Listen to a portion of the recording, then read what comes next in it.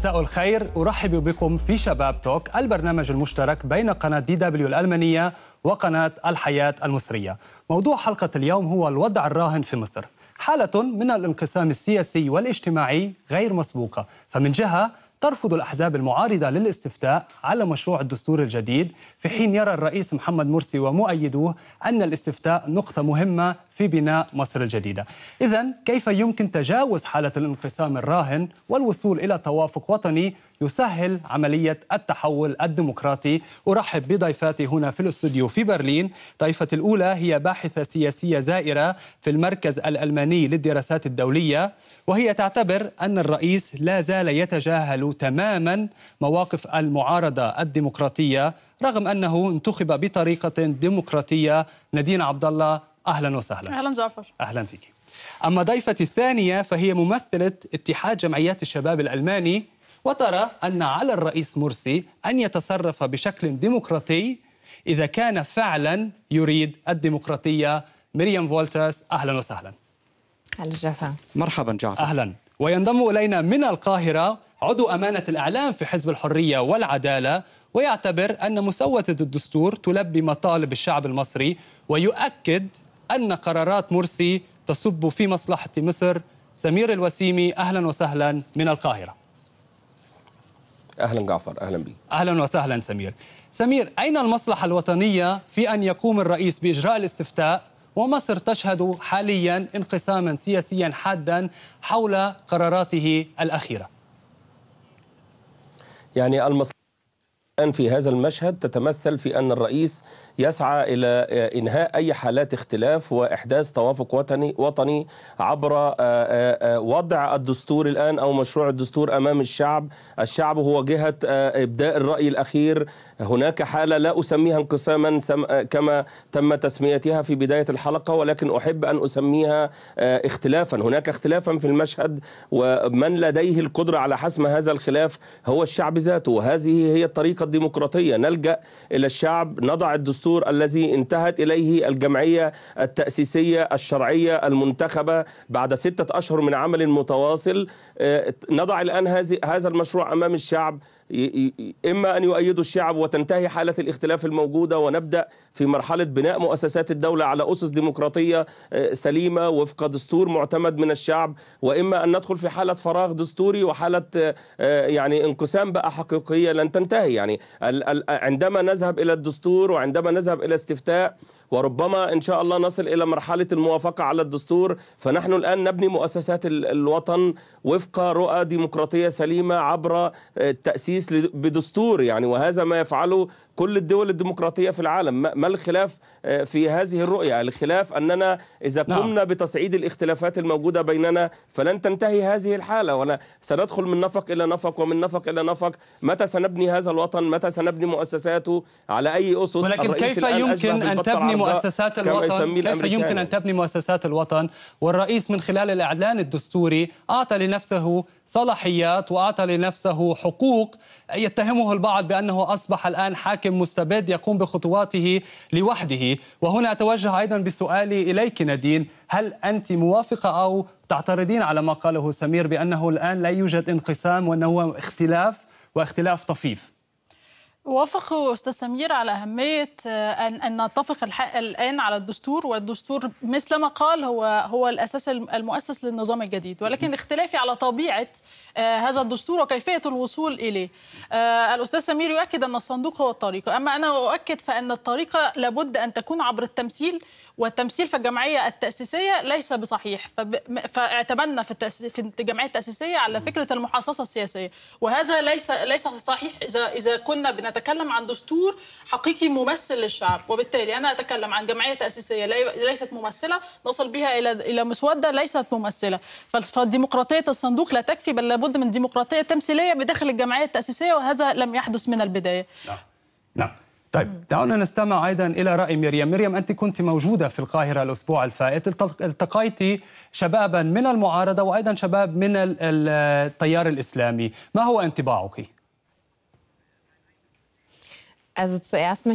بداية أريد أن أقول بخصوص ما قيل أن أن ليس جميع أطياف الشعب المصري كانت ممثلة في اللجنة التأسيسية مثلا الشباب لم يكونوا ممثلين معظم الأعضاء عمرهم فوق الخمسين سنة الأعضاء الذين التقينا بهم كانوا من نشطاء من النشطاء في مصر ولاحظنا في الحوارات التي خضناها هناك أن هناك سطوة للإخوان المسلمين في هذه اللقاءات.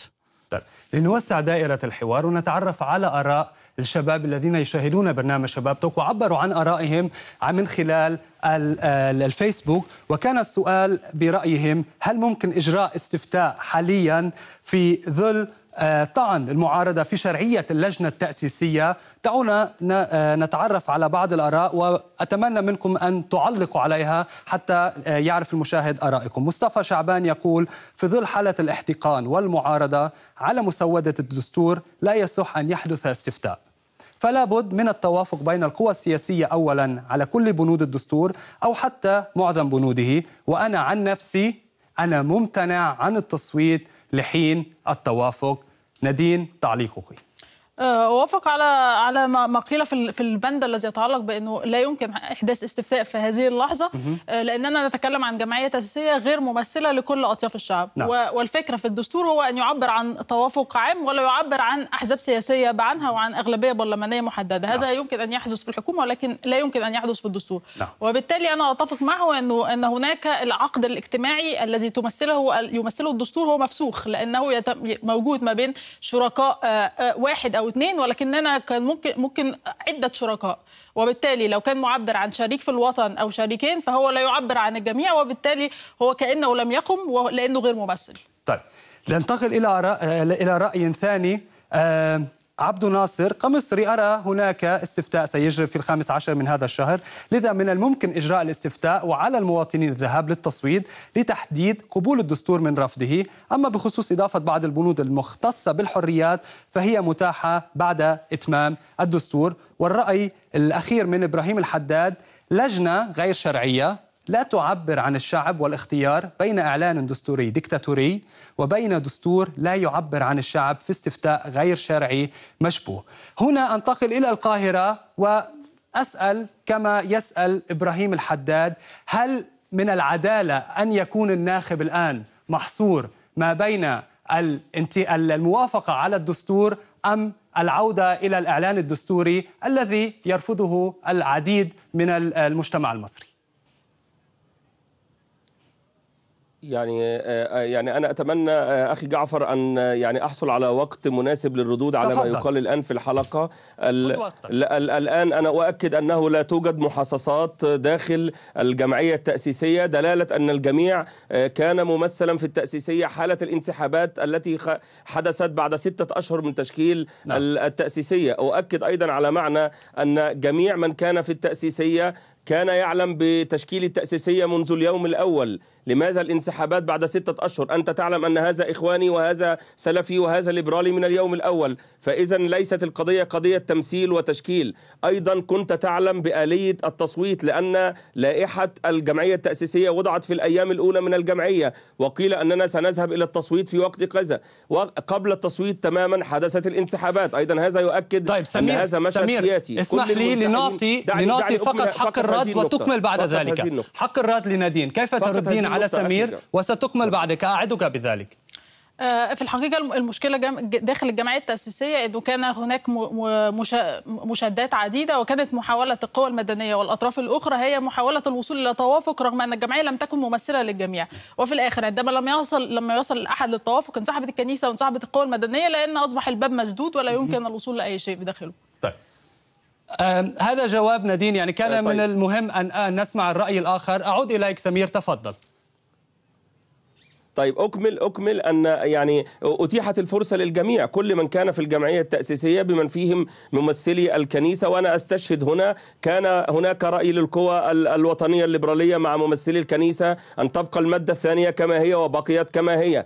كان لهم رأي أن تبقى المادة متأخرة التي تشرح الشريعة الإسلامية ومبادئها مع أن هذا مخالف حتى للمنطق. أنت تتحدث عن الشريعة ثم تقول في ذات المادة رقم اثنين وهي تعني كذا. وضعت في المادة 219 بناء على هذه الرغبة. كان للمسيحيين رغبة في إضافة مبادئ شرائعهم شرائع غير المسلمين في الدستور ووضعت المادة رقم ثلاثة قبل مادة الأزهر الشريف التي أتت رقم أربعة. حالة التوافق أريد لها أن, أن, أن تستمر. استمع للجميع. هناك أوراق أخرجتها الجمعية التأسيسية تشير إلى توقيع كل من انسحب على طبعا. هذه المواد وعلى هذه الرؤى. يعني كيف كيف نتحدث عن كلام مرسل المدنية يعني كيف نتحدث عن كلام مرسل وأمامنا أوراق سمير. فإذا لماذا يعني هناك ليس هناك توافق على اللجنة التأسيسية. وهنا أريد أن أعرض عليك فقط لأذكر أيضا أن الرئيس مرسي وعد الجميع بأن إن لم يكن هناك توافق على اللجنة التأسيسية لن يتم الانتقال إلى المرحلة الآن وهي مرحلة الاستفتاء. دعونا نشاهد هذا الفيديو ونتابع بعد ذلك حتى يتعرف أيضا المشاهد لماذا هذا المعارضة ولماذا الصوت العالي في الشارع ضد الرئيس المصري من الحوار البناء. خذوا أوقاتكم. لن أعرض المقترح على الشعب إلا إذا رأيت توافقا من الكل من الكل قبل أن يعرض. هذا أمر منتهي. طيب. سمير تعليقك. لو سمحت. يعني أنا طبعا أترك التعليق للرئيس الذي يقول آه، هذا الكلام. أنت لا تسألني بصفة الرئيس الآن لكني آه، أعلق يعني من واقع تحليلي. طبعا. الرئيس تحدث عن توافق وأنا أسأل الجميع ما هو آه، مفهوم التوافق. يعني الدستور الآن بكل موادي أنا أدعي أن أحدا لا يحتج على مادة. يعني أنا الآن موجود وأتمنى أن تناقشني الأستاذ على الطرف الآخر أو أحد الأعضاء عن مادة. ما هو لماذا عدم التوافق؟ خلينا نقول إن مفيش توافق الآن مع إن أنا أدعي أن التوافق موجود ولكن الانسحابات لموقف سياسي لعدم إحداث أي استقرار الآن في ظل هذا الرئيس المنتخب الشرعي نعم. الذي ينتمي إلى خلفية إسلامية وهناك وهذا يمثل خطورة على الوطن. ما أراه خطورة يا أخي جعفر ما أراه أنا خطورة أن هناك من يريد الا يحدث حالة استقرار في الوطن في ظل وجود هذا الرئيس. فكلما ذهبنا إلى حالة ومحاولة استقرار يهدم هذا الاستقرار بدعوى عدم التوافق. يعني أنت ماذا على أي مادة تعترض أخي الكريم؟ طيب لنأخذ مثل عملي لنأخذ مثل عملي من نادين على أي مادة تعترضين؟ أه، بداية قبل ما نعم. نتحدث على المواد أنا أتحدث عن الآلية نفسها. أنا اعتراضي على الآلية وليس على وليس على الناتج لأن الناتج هو نتيج للآلية والآلية بالنسبة لي فيها مشكلة. المشكلة هي أنها ليست ممثلة للجميع. أه، عديد من الفئات ليست ممثلة بدرجة كافية داخل الجمعية التأسيسية. وبالتالي هذه هذه هي هي المشكلة الحقيقية. أنا أتكلم عن توافق. أنا بتكلم عن زي ناس مين؟ آه، أنا أنا أتكلم عن توافق ما بين كل كل الفئات بداخل الجمعية التأسيسية. لكن لا أتكلم عن أغلبية هي هي مسيطرة وكلنا نعلم إن في أغلبية إسلامية مسيطرة على جمعية. ولا ولا والمشكلة هي ان أن التوافق يكون عبارة عن حوار ما بين الفئات آه، جميعها وليس لسيطرة أغلبية معينة. وبالتالي أنا أتكلم حاليا على الآلية وليس على مسودة الدستور. وإذا كان هناك العديد اليوم آه، رافضين للاستفتاء فهم رافضين الاستفتاء بسبب هذه الآلية. وبالتالي هم يتكلموا مع الرئيس يطلبون منه بل انه رئيس المصريين كلهم أن يلتفت لهذه المعارضة. بما إنه هو رئيس المصريين كلهم فهو يحتاج إلى أن أن يتعامل مع المعارضه على أساس إنها شركاء في الوطن ويحتاجون إلى إلى رأيه ويحتاجون إلى موافقته لأن هناك مشكلة حقيقية. طيب. هذه الملايين في الشارع تعبر عن هذه المشكلة. هي عرض مادة واحدة لو سمحتي ترفضينها في الدستور الجديد حتى يكون عندي مثل عملي. هناك آه، هناك مادة آه، مادة تتيح للرئيس أن يتدخل في سلطات القضاء مثلا فيما يتعلق بالعفو وما إلى ذلك. مادة 149 المادة نصت على أن من حق الرئيس الجمهورية العفو عن العقوبة أو تخفيفها. يعني أنت ترفضينها لماذا؟ آه، لأن في ذلك تدخل في أحكام القضاء الطبيعي هو أن أن يتدخل فقط في العفو ولكن لا يتدخل بإلغاء الحكم لأن في ذلك تدخل تام في داخل السلطة التنفيذية حتى وإن أعطى له الحق مبدئيا في إن في إنه آه، يعفو. طيب. سأذهب خطوة إلى الأمام وأصبح من الواقع الآن أن الاستفتاء سيتم في الخامس عشر من ديسمبر القوى المعارضة بإمكانها أن تعبر عن رأيها من خلال الصناديق لماذا لا تنتظرون حتى يتم إعلان النتيجة وبعد ذلك آه، تعطونا آراءكم شكرا لهذا. كنتم موافقين أو غير موافقين.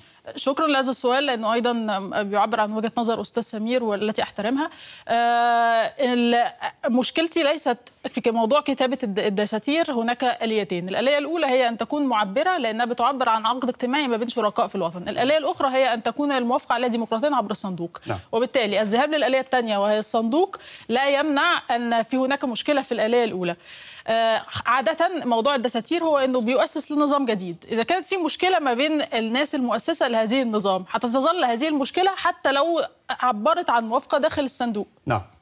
طيب مريم استمعت إلى إلى رأي آه، سمير وأيضا إلى رأي نادين، هل من رأيك من يعني من من من مراقب من الخارج ترين أنه من النافع أن يتم الآن إجراء استفتاء في ظل هذه الأجواء أو أنت ضد الفكرة؟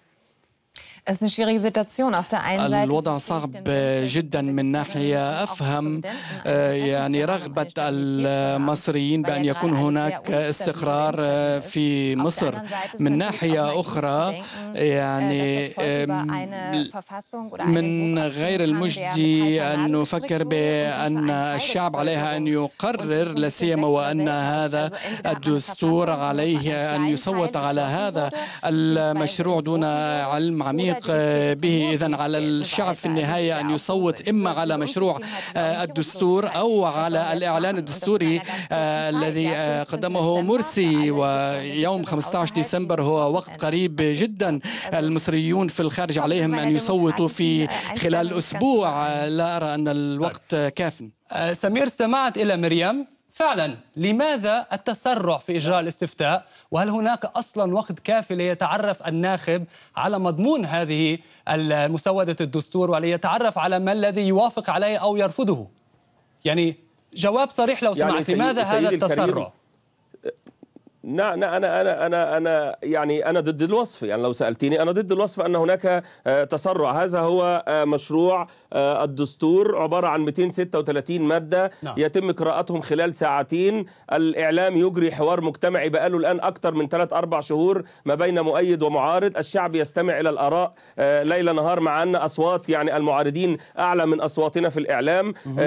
أحب أن أشير إلى أن الجمعية التأسيسية شكلت أربع لجان شكلت لجان لجان استماع على كل الوطن. آه، آه، تستلمت أربعين ألف اقتراح وتعديل آه، غير المرسل عبر الإنترنت. درست ثمان دساتير مصرية سابقة و194 دستور عالمي للاستفادة من الخبرات. يعني أنا أسأل من يتحاول يتحاورون حول الدستور. نعم. آلية الأستاذة كانت تتحدث عن آلية تشكيل هذه الجمعية. الجمعية تشكلت عبر انتخاب من برلمان شعبي منتخب. قالت المحكمة الدستورية عن عن هذا البرلمان أن كل وهي تحله قالت أن كل ما صدر عنه فهو صحيح وهذا ما دفع بالقضاء الإداري أن يتحدث أن تشكيل الجمعية سمير, سمير أعود إلى سؤالي لماذا التسرع بالاستفتاء؟ وأنت قلت لي التسرع هذا ليس, ليس تسرع حسب رأيك ولكن أريد أن أعطيك مثل. أنا الأسبوع الماضي تسرع. الأسبوع الماضي كنت كنت في القاهرة وقبل ذلك تجولت في عدة مدن في مصر. وذهبت إلى الشرقية والتقيت بكثير من الفلاحين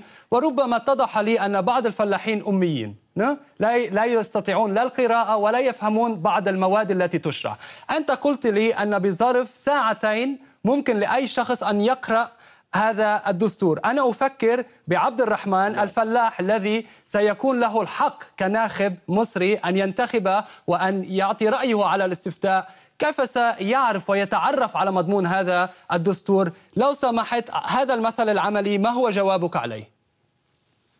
يا سيدي هناك حلقات الآن تجرى تجريها الجمعية التأسيسية الجمعية التأسيسية لم تنتهي آه، من عملها شكلت لجان للوعي المجتمعي وستمر ب... يعني ال 85 الذين كانوا حاضري التصويت. أنا لا سيمرون عبر عن اللجنة التأسيسية. أنا عن أتحدث من الواضح عن المدة الزمنية الاستفتاء يعني جاوبني على المثل العملي. كيف سأشرح لعبد الرحمن؟ كيف سيتمكن من تعرف على مضمون الدستور؟ سؤال واضح وأرجو منك أيضا أن يكون الجواب واضح. طيب أنا أنا أجيب أنا أجيب أخي جعفر أنا أجيب أنا بقول لحضرتك هناك حوارات تفضل. إعلامية ستتم هناك آه، لقاءات هناك لقاءات جماهيرية ستتم عبر الجمعية التاسيسيه وعبر كل المتخصصين سيجوب الوطن سيتم إنشائها آه، لتلقي أسئلة الناس والرد على هذا سيعلم عنه عبد الرحمن سيعلم كيف هو الدستور سيتفرج على التلفزيون ليل نهار سيعرف التلفزيون بيقول له أي اتجاه رايح المادة دي معناها إيه؟ أعضاء الجمعية التاسيسيه هيخرجوا على القنوات الرسمية. آه نعم لا لا لا لدي تلفاز. التلفاز موجود في كل مصر وهذه مبالغة أخي جعفر. هنا أنتقل لا لا لا, لا التلفاز موجود لدى 80 مليون. استمعنا إلى هذه الآراء و أريد أن أسألك هل تقوم الأحزاب المعارضة والقوى المدنية الآن الموجودة في ميدان التحرير؟ بقيام أيضا حملات لشرح لمختلف الشعب المصري عن كيفية مضمون الدستور. هذا السؤال الأول. والثاني كم تعبر هذه القوى المدنية عن الشارع المصري وتأثيرها؟ هل هو هو تأثير كبير أم أنه فقط بحدود ميدان التحرير؟ أعتقد إنه هناك جلسات حوار تعقد من قبل القوى المدنية للتعريف ولكنها لا تعقد على نطاق واسع. النقطة الثانية والتي تتعلق بإنه إلى أي مدى القوى المدنية مؤثرة نحن نعرف ان أن القوى المدنية هي هي قوة موجودة حقيقة في الشارع لكن ليست لديها نفس قدرة الحشد مثل الاخوان المسلمين أو السلفيين ولكن ال ال ال الإضافة المهمة جدا جدا أضيفها هنا أن ميدان التحرير في هذه في الأيام الأخيرة لم يكن فقط معبر عن قوة ثورية صغيرة ولكنه كان معبر عن أغلبية من المواطنين يرون يرفضون الإعلان الدستوري ثم بعد ذلك يرفضون أن الاستفتاء الذي وضع على العجل متى ستأخذ المعارضة المبادرة وتصنع هي القرار السياسي ولا تكون فقط ردة فعل على قرارات مرسي؟ وهل بإمكانها ذلك؟ هل لديها هذه القوة؟ حاليا النظام في في يد الرئيس مرسي هو الذي يمثل النظام وهي تمثل المعارضة، نعم. المعارضة دورها هو أن أن أن تعترض ثم تقدم بدائل نعم. وبالتالي حتى الآن ما البديل؟ حاليا البديل المطروح ليس لا هناك ليس هناك بديل مطروح من من القوى المدنية سوى فكرة التراجع عن الاستفتاء لأن بالنسبة لهم هذا الاستفتاء على الدستور هو الدستور غير ممثل وبالتالي التراجع عن الاستفتاء يبدأ يبدأ نوع من الحوار مع الرئيس وإذا كان الرئيس معبر عن كل كل المصريين مثلما قال فلا بد أن يلتفت لهذه المعارضة التي ذهبت بالملايين في في التحرير لمدة الأسابيع الماضية تطالب بشيء ما. نعم.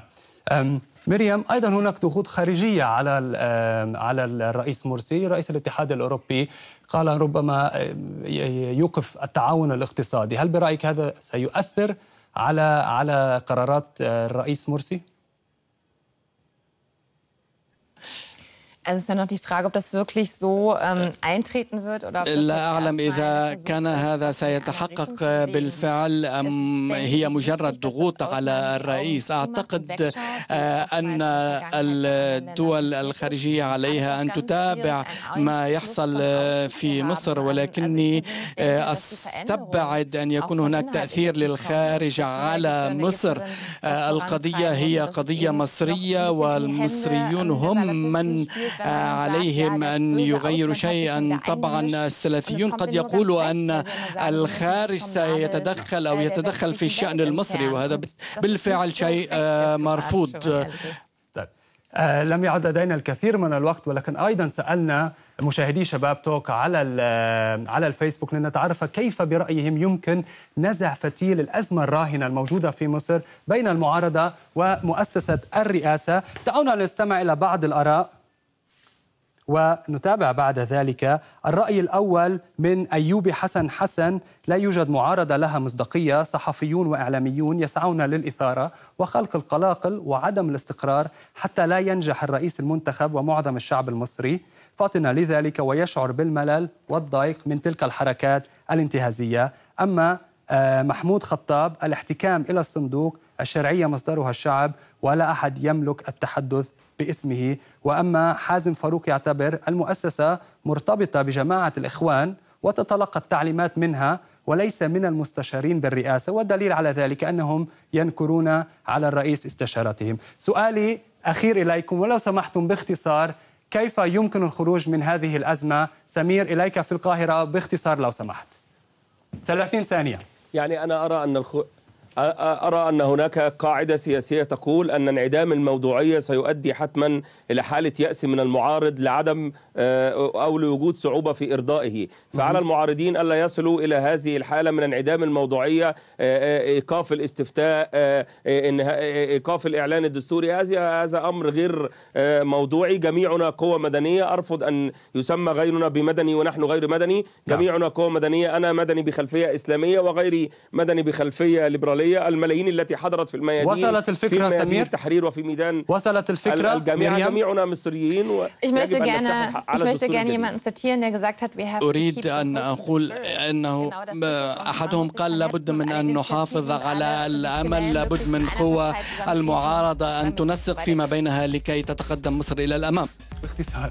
باختصار شديد إحنا بنتكلم مش على معارضة غير موضوعية ولكننا بنتكلم عن ملايين ذهبت إلى الميادين تعترض عن شيء ما. حزب الكنبة اللي بنسميه في مصر لا يتحرك ذهب وبيعترض. فبالتالي نحن نتكلم عن شعب مصري ولا نتكلم عن معارضة تتمثل في عدة أشخاص. وبالتالي الطبيعي هو فتح حوار جاد معها. طيب شكرا لضيوفي مشاهدينا نكون قد وصلنا إلى ختام حلقة اليوم. نلتقي الأسبوع المقبل. فإلى اللقاء. Danke.